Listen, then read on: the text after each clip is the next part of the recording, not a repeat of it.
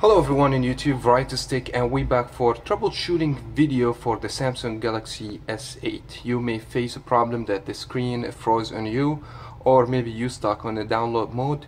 Let me show you how you can fix that in a few seconds.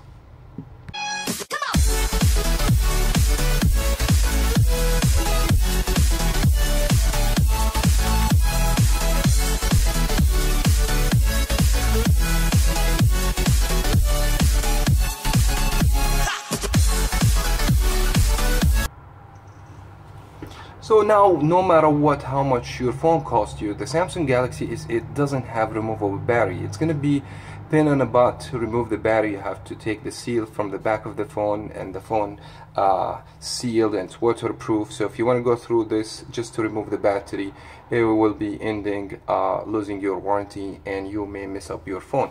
If you lucked with this download mode, uh, frozen screen or anything else or the screen is completely black. Don't be worried much but you have to follow my steps. Go to the power button over here. My phone till this moment is not frozen so but if that happens it's gonna be the same thing. So power key and volume down. Could be about seven seconds I guess so let's do it. Like one two three four five six seven. Yep it's around seven seconds you have to hold in power and volume down key and your phone should restart and back normal to the main menu or to the phone.